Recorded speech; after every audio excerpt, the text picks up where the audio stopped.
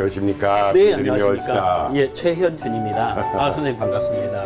사장님, 예. 대한민국의 예. 빵집 네. 수십만 개 있을 텐데 예. 이 빵집의 특징이 뭡니까? 저희 빵집은 다른 것보다 예, 지방 쪽에서는 식사빵으로 먹을 수 있는 빵이 없어서 네. 꼭 한 군데 정도는 필요하겠다 싶어서 이렇게 차리게 됐습니다. 그래서 이렇게 하셔가지고 예. 장사가 됩니까? 사실 장사도 목적이었지만은 분명히 지방에도 이런 걸 좋아하시는 분들이 분명히 많지는 않지만 있으실 거라고 생각을 해서 했더니 의외로 또 옆에 분들 많이 소개를 해주셔가지고 네. 음, 잘 되고 있습니다, 선생님. 네.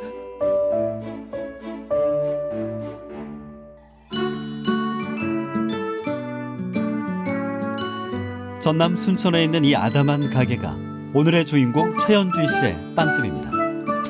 순천에서 유일하게 프랑스 빵 전문점을 운영하는 그는 자연 효모로 빵을 만드는 천연 발효빵 파티시에인데요. 발효는 시간이 만들어주는 일이기에 매일 이른 새벽부터 가게 불을 밝히는 현준 씨. 건강한 빵은 맛이 없다는 편견을 깨고 다양하고 맛도 좋은 빵을 만들고 있습니다.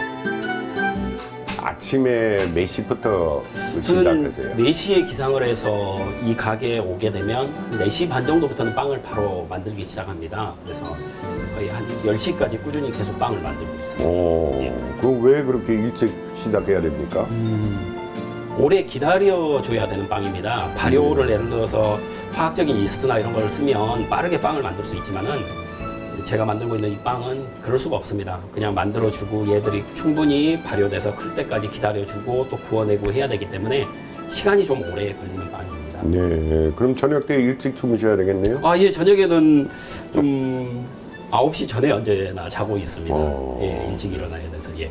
그 앞에 그 간판 보니까 네네. 그 블란서 빵 위주로 네, 예. 하시는데 네. 그 특별한 이유가 뭡니까? 어떤 블란서 빵 하세요? 아, 제가 나 배웠던 학교도 Cordon Bleu라고 그 프랑스 제과 제빵 요리 학교였고 또 제가 네. 배웠던 게 또 프랑스 빵이기 때문에 이제 프랑스 바게트라든가 그다음에 패스트리 크루아상이나 음. 이런 빵을 위주로 제가 만들고 있습니다. 네.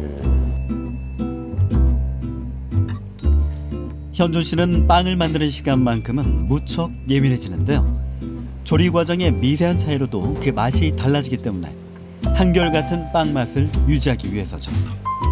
손님에게 가장 맛있고 신선한 빵을 제공하기 위해 욕심부리지 않고 매일 일정량의 빵만 굽는 현준 씨. 평범한 직장인이었던 그가 빵을 만들기 시작한 건 우연히 먹어본 천연 발효빵에 매료됐기 때문인데요. 처음 맛본 그 건강하고 행복한 맛을 사랑하는 가족과 더 많은 사람들에게 나눠주고 싶었습니다. 이렇게 밥하고 김치 주로 잡수셨던 분이 갑자기 빵에 대해서 그렇게 신경을 쓰시나요? 이제 저희 딸이 과자를 되게 좋아하는데 아하. 그 과자가 안 좋은 게 너무 많이 들어가더라고요. 그래서 네. 내 손으로 좀 해줄 수 없을까? 딸에게 좀 좋은 과자를 만들어 줄 수 없을까? 그게 이제 제가 이거 이쪽 길로 들어서게 된 계기가 된 것 같습니다.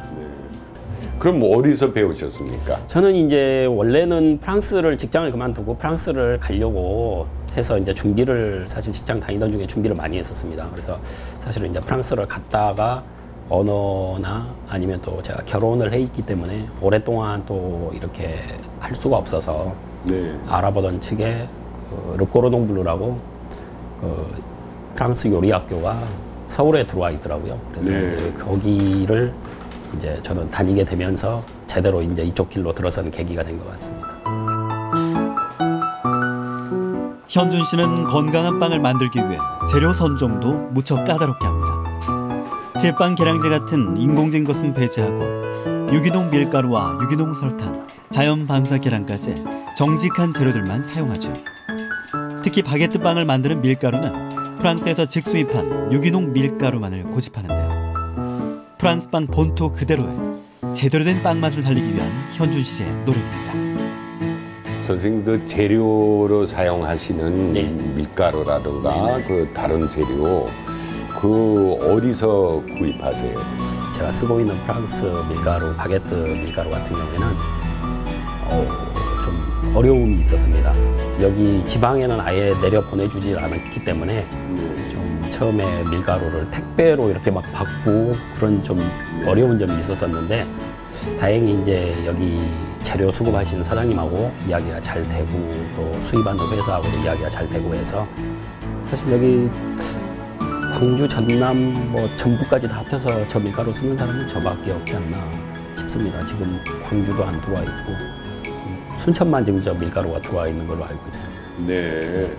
그러면은 남들이 사용하지 않는 재료를 예, 예. 그 이- 어, 사용하는 이유가 뭡니까? 음, 제가 이쪽에서 없는 재료를 사용하는 이유는 딱 한 가지입니다.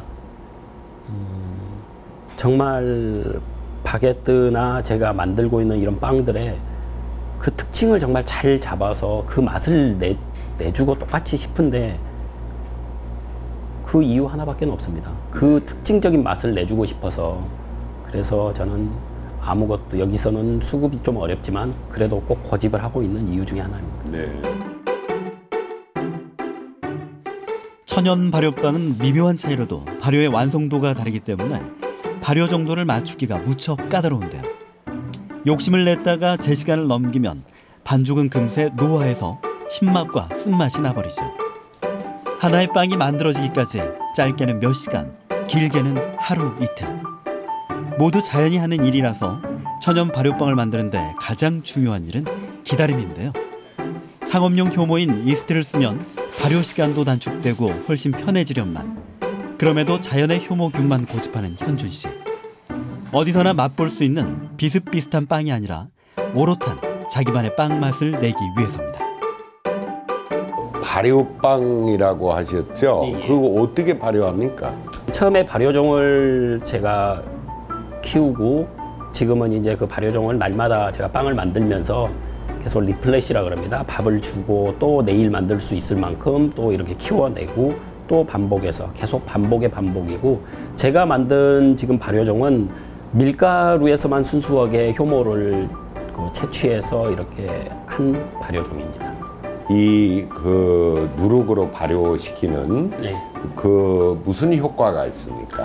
이제 누룩이나 이런 르방을 쓰게 되면 가장 좋은 게 나만의 빵, 우리 집만의 빵집에 그빵 맛이 있는 겁니다. 그래서 똑같이 옆에서 아니면 다른 집에서 그 르방을 써서 이렇게 만든다고 했었을 때 그 빵집은 또 그 빵집대로의 굉장히 빵 맛이 있는 거고 똑같은 빵을 만들어도 저희 집은 또 저희 집만의 빵의 맛이 확실히 구분이 갑니다. 그래서 이제 저는 저희 집 빵집은 이런 맛입니다. 이런 맛입니다. 이걸 알려드리기 위해서 제가 꼭 이스트를 쓰지 않고 르방을 쓰는 고집하는 이유 중에 하나입니다. 가게 문 닫는 시간보다 빵이 먼저 떨어지는 현준 씨의 빵집. 오후에도 빵을 만들어 달라는 손님들의 요청이 있지만 하루 전에 미리 반죽을 해야 맛과 향이 사라지지 않게 철저하게 하루치의 양만 만드는데요. 입소문을 듣고 타 지역에서도 손님들이 찾아올 만큼 잘 나가는 빵집이지만 이런 현준 씨에게도 힘든 시간은 있었습니다. 안정된 직장을 그만두고 적지 않은 나이에 시작한 빵 만드는 일은 생각처럼 쉽지 않았으니까요. 처음 시작하실 때 네. 그때 이제 교육도 받으시고 예, 예. 어 그다음 이제 그 여기서 이제 그 빵집을 네. 내셔가지고 네. 그때 좀 어렵지 않았어요? 제가 학교를 나오고도 이 빵을 제대로 만들기가 힘들었습니다. 학교는 학교일 뿐이었고 혼자 그 미친 듯이 많이 쫓아다니고 또 많이 배우려고 하고 거의 그랬습니다. 그래서 옆에서는 아, 정말 미쳤구나 할 정도로 그렇게 많이 돌아다니고 그랬습니다. 네. 그럼 주변 사람들이 뭐 뭐 부모님이라든가 뭐 아, 사모님이라든가 좀 않으셨는가요? 예. 예, 반대 많이 했습니다. 직장에 다니고 평범하게 직장 다니고 그랬는데 이쪽 길에 있었던 것도 아닌데 그리고 요즘 경기도 어렵고 그러는데 어떻게 프랜차이즈도 아닌데 살아남을 수 있겠느냐 그래서 반대를 많이 했었는데 음, 저는 설득하려고 하진 않았었습니다. 설득하려고 하지 않았었고 제가 보여줄 수 있는 것은 음, 제가 이렇게 잘 만들 수 있다는 거. 사실 제품을 보여드리고 싶었어요. 그러지만 제품을 제가 보여드리기가 쉽지가 않았죠. 오븐도 그때 당시에는 제가 오픈하기 전에는 없었고 그랬기 때문에 그랬지만 제 스스로에게는 되게 이 정도면 충분히 이걸 팔아도 고객분들한테 충분히 나쁘지 않는 평가도 받고 할 수 있겠다는 자신감이 있어서 음, 그래서 제가 이걸 오픈하고 나서 드셔보시고 그때 반대를 하게 되면 그때는 안 하겠다 제가 그렇게 말씀을 드리고 그렇게 해서 오픈을 했습니다.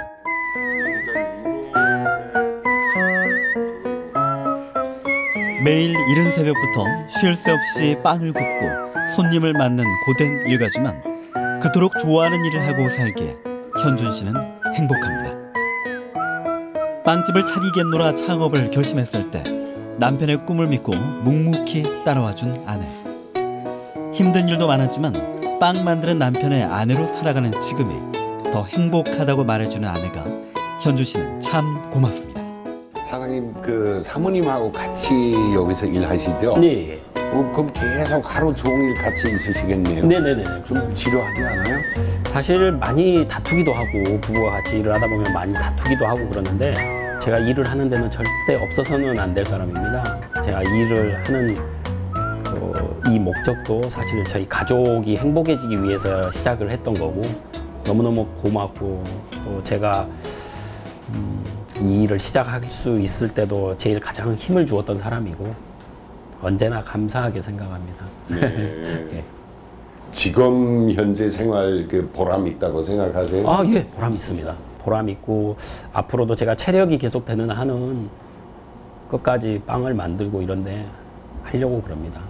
어, 나이 들어서도 수염도 더부룩 하고 많이 나이 먹고 그래도 빵을 만들 수 있을 체력이 참 되면 너무너무 좋겠다 그런 생각을 많이 합니다.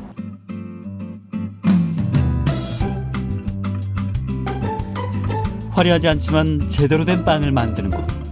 한 번 맛보면 다시 찾고 싶은 현준 씨의 빵집. 그저 고객에게 좋은 빵을 제공하고 싶은 현준 씨는 오늘도 온 정성을 쏟아 건강하고 맛있는 빵을 굽고 있을 겁니다.